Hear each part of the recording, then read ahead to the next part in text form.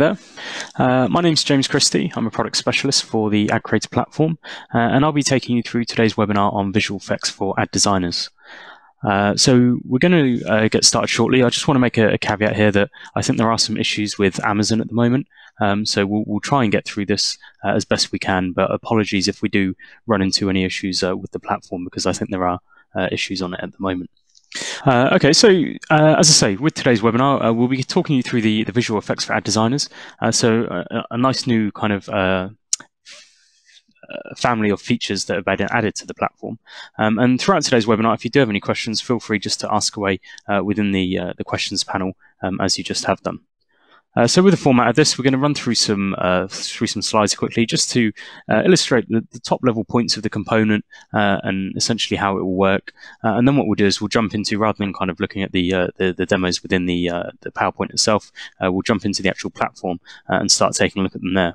And then lastly, what we're going to do is we'll, we'll jump into the Ad Creator Builder itself, and we'll start taking a look at the the new visual effects component um, and seeing some innovative ways in which we can actually start utilizing it along with the new actions that are there as well. Cool. So hopefully uh, you can see my screen, uh, and with that we'll, we'll, we'll, get started. So essentially the idea of uh, the visual effects component uh, is to instantly elevate creators with preset lightweight animations. What we mean here is that there's no additional assets needed or anything like this, and we can use the existing drag and drop interface uh, to simply start creating really um, stunning visual effects uh, within the creatives. Um, so the four main kind of points here are, are the fact that it is instant production. So as I said before, you can just simply drag and drop this from the components panel you don't need any additional assets. Uh, there are loads of um, predefined kind of presets which allow you to instantaneously um, start producing these great effects within the ads.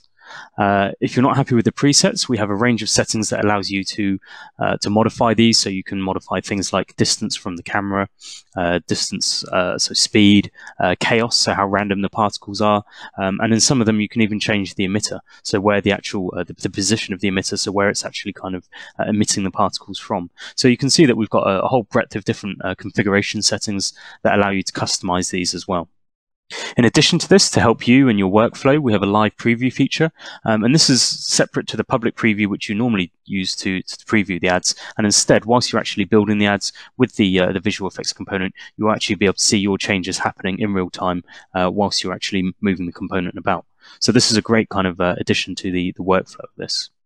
And then lastly, but not least, obviously it's compatible across all of the rich media formats. So this is completely platform and environment agnostic. So this will work on uh, iOS, Android, mobile web, uh, and in-app as well. So with some of the components, obviously there are restrictions in some of the environments that we'll run in. Uh, this is obviously a very universal type uh, feature uh, and will run obviously in, in all of the, the various platforms. So the first one we take a look at is the ambience component. And the idea of this is to essentially uh, set more of a mood for the ad. Uh, so it's not necessarily meant to kind of maybe illustrate any uh, particular product or, or, or, things like that, whereas some of the others may. Uh, as I say, this just kind of sets a bit of a uh, ambience, as, as the name suggests.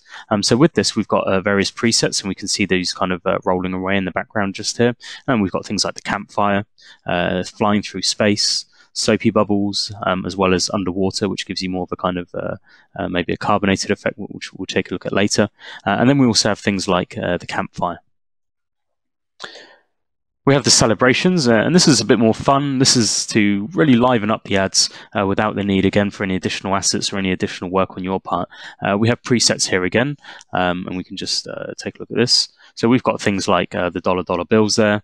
Uh, we've got confetti, uh, stars with the twinkle twinkle. Uh, balloons as well, when we can customize all the kind of colors. There's some preset colors and things in here as well. And we've got other things like um, confetti poppers and, and, and, and falling down um, uh, party time confetti there as well. So this is, allows you to kind of, you know, especially for things like uh, sales, draw attention to particular items, um, and essentially just lift up maybe verticals that aren't so exciting. So maybe something like finance, uh, where it's not the most exciting of, of kind of, uh, as I say, verticals. It allows you maybe just to inject a bit of life into these kind of creatives, uh, as I say, uh, very easily just with drag and drop. Uh, we've also got smoke. So again, this is maybe more product specific. Uh, and again, we've got some great examples here, uh, hopefully quite self-explanatory what the smoke does. Uh, but we've got things like um, a sizzling plate, uh, which allows you to, to obviously illustrate hot food, things like a sauna or steam room as well. Um, we've got the hot drink. uh, ideal for coffee. And then I think one of my favorites, which is the cigarette smoke. Um, and we'll take a look at these as well, as I say, when we jump into the demos. So hopefully, uh, with the smoke, I mean, other other um, ideas for using this might be in automotive as well, where we can start, you know, simulating um, burning of tire smoke uh, to, to, to, illustrate, you know, a bit of speed or something like that. Um, so you can think outside the box with these as well, and you don't just have to uh, be confined, obviously, to, to how we suggest that you use them. Uh, and then lastly, we've got the weather component. So the weather component was actually released uh, just before Christmas. So this was the first of the visual effects family. Uh, and what we see here is obviously we've got multiple permutations of this again. Um, and we've got snow, rain, uh, sun, cloud, fog, and wind. And again, uh, each of these has their own presets under these conditions as well. So hopefully you've, you've already experienced this and you've, you've got a bit of an idea as to how the component may work. Um, and as I say, through this, we'll just take a look at some of the new effects that we covered briefly before. So what I'm going to do there is now uh, jump into the platform itself. And as I say, bear with me with this because uh, I, I, know there may be some problems. So hopefully uh, we won't be experiencing them ourselves. Uh, so let's just jump into the platform.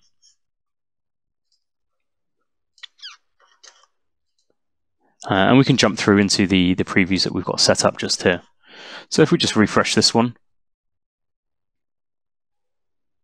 hopefully it's going to refresh. If not, as I say, because this is going to be a very kind of tentative demo. Let's have a look, see if it's going to work.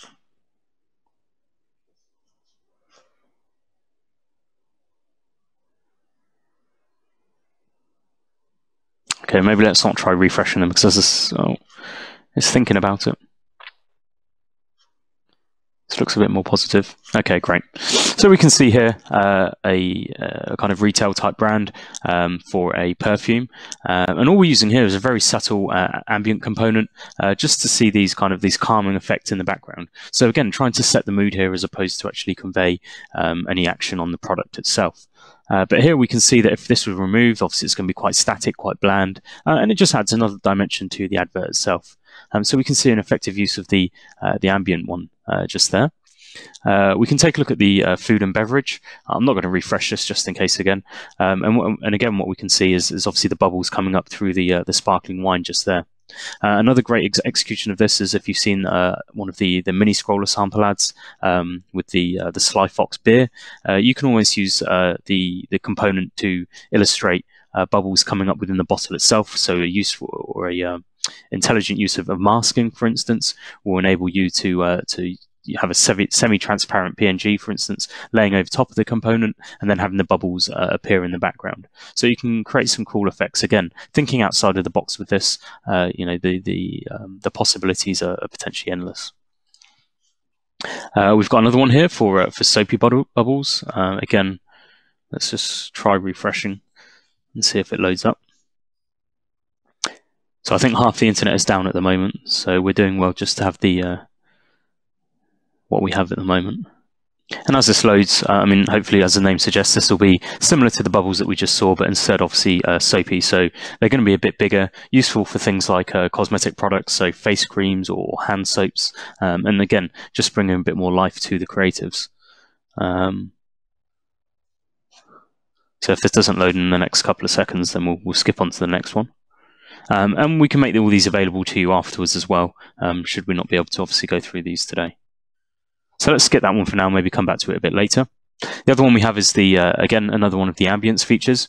Um, and this is the, the kind of the flying through space. Uh, and, and you can change all the, uh, the various kind of effects here. So obviously where this is or, uh, ori originating from, uh, the speed, uh, and obviously the density of the particles as well. All these factors can be changed, so you can obviously modify this to suit your creative um, as it needs to be. Uh, another nice one, um, quite useful obviously for uh, things like food brands. Uh, here we've got an example of, of a coffee, uh, but again, doesn't have to be constrained to this. You, again, you can change things like obviously the height, um, uh, the strength of it, the the the, um, uh, the density again. so all these factors can be changed to really tailor this to the exact needs that you that you really need. And then lastly, we've got quite a nice one, which is the the fire.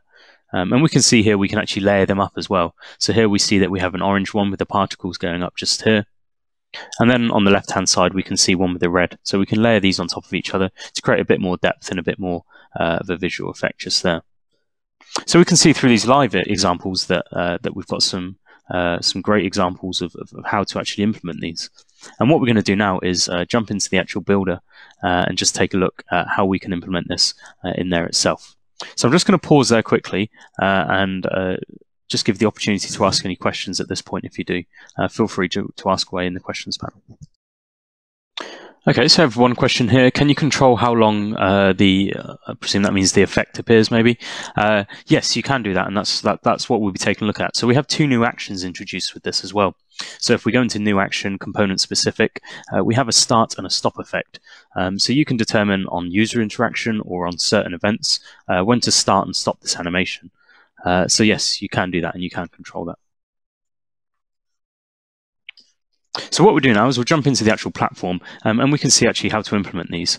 Um, as I was just trying before, as I said, because of the uh, some of the issues that we have with Amazon at the moment, uh, it might not be possible to save this, but we can always see how this looks afterwards. Um, so first off, let's just go to preview it uh, and let's hope I haven't, or maybe because I couldn't save it, it may, it may not. But let's uh, fingers crossed it.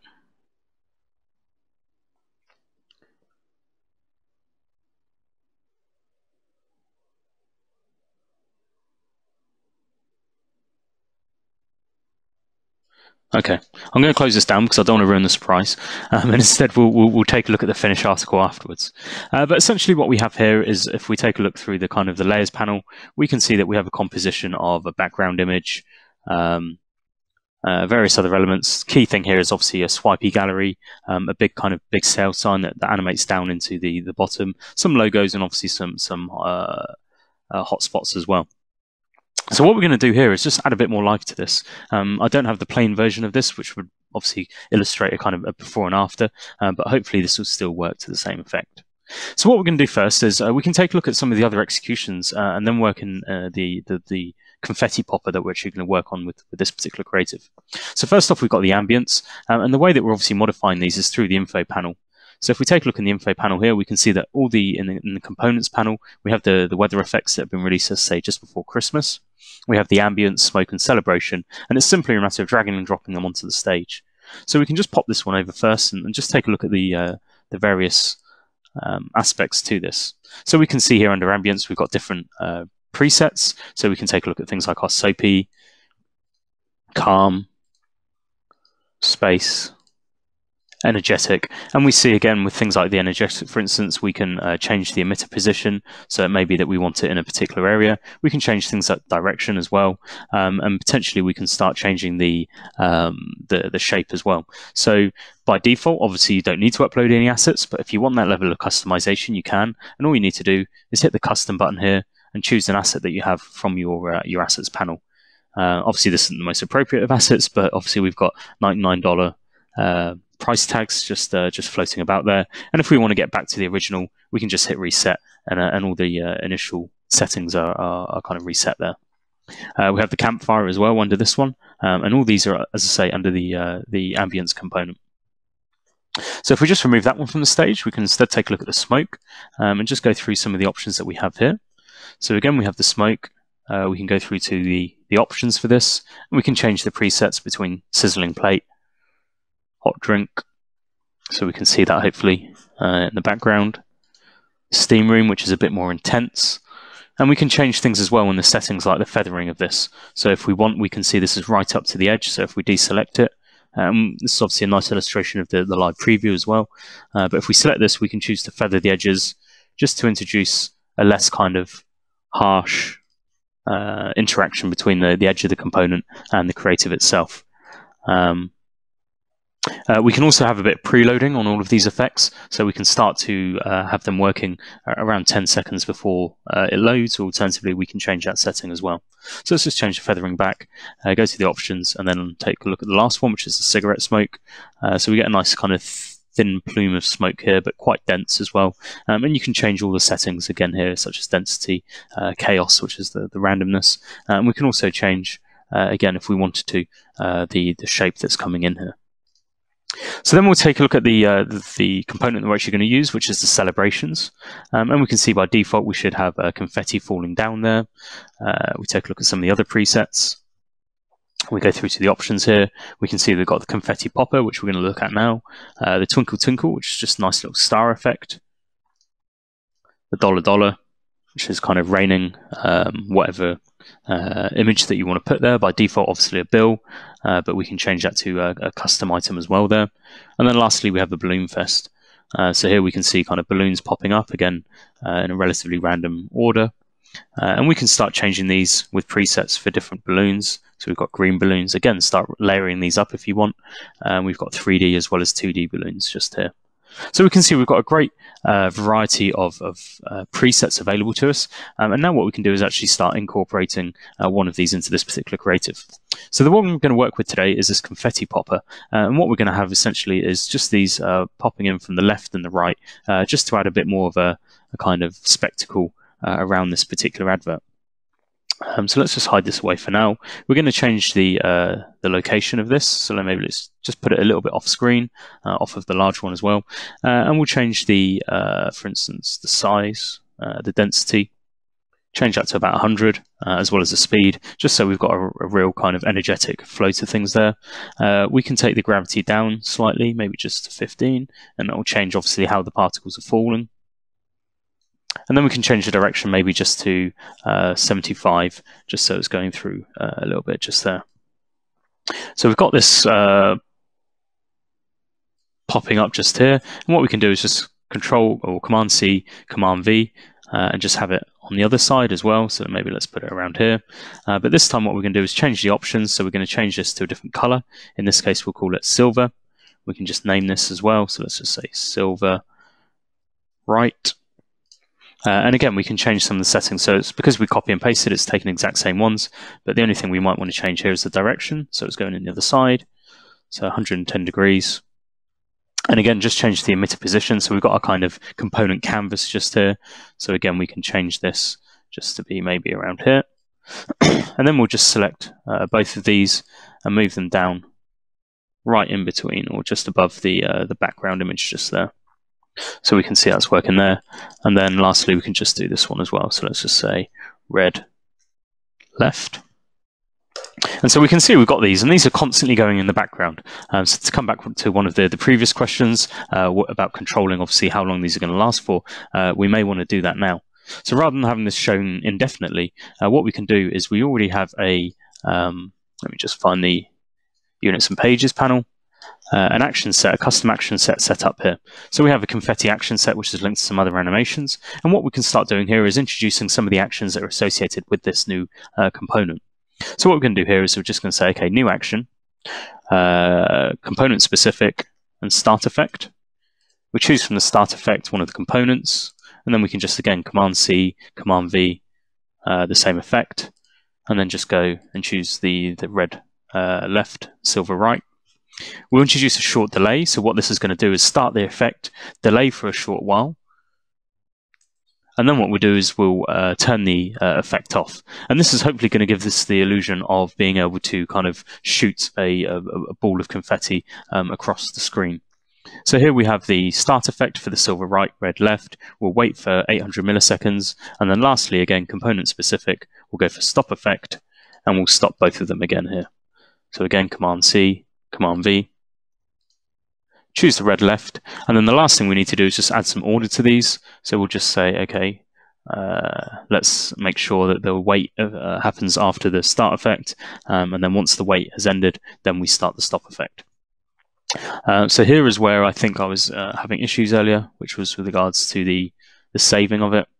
But hopefully if that doesn't work, it should still be saved in the background anyway. So let's give it a go in the preview and see how this looks. Um, so essentially what we have here is the uh, the confetti action set. Um, and this is linked up to, to various elements. Um, so we can see here, we can go to the start page, for instance. Uh, I think we go to the events. We can just choose to stop the effects so that they're not kind of uh, going straight from the outset.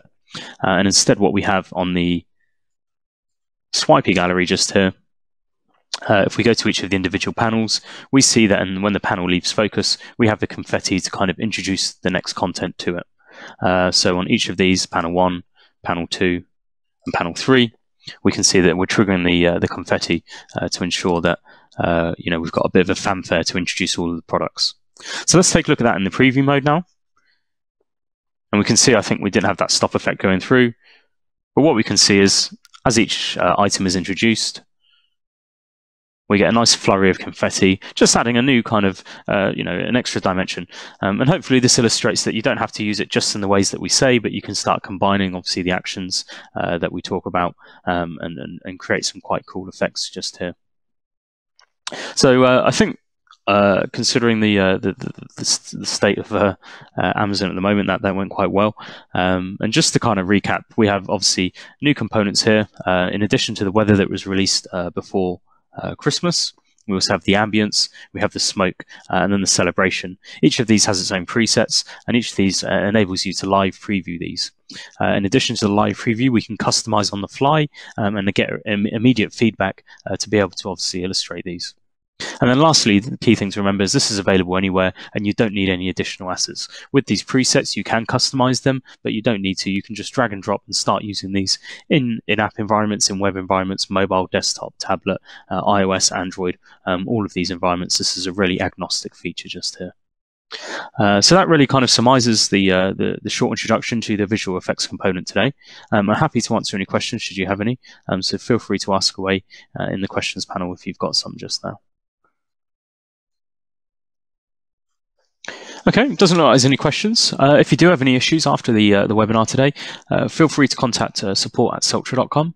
Uh, in addition, we do have doc documentation on support.celtra.com, um, so feel free just to go across there and uh, and explore the documentation. enjoy the rest of your day. Um, I hope you have a good one, and I'll talk to you soon. Bye bye.